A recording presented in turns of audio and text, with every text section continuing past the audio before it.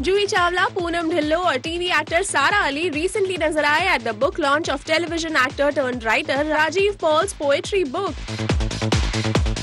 और इस इवेंट का interesting part was to see Juhi's poetic side. अरमानों की रात होगी ख्वाहिशों की रात होगी तुमसे होगी जब मुलाकात कितनी लंबी वो रात होगी साथ ही जूही ने राजीव की तारीफ़ भी की अपने अलग अंदाज में। I was like, राजीव तुम किसी की एंगल से पोएट तो लगते ही नहीं हो। मैंने इसकी poems Lee and I was very pleasantly surprise मतलब मैं काफ़ी सरप्राइज़ थी कि राजीव ने ये सब लिखा है। वेल तो कुछ यूँ पूरा हुआ ये बुक लॉन्च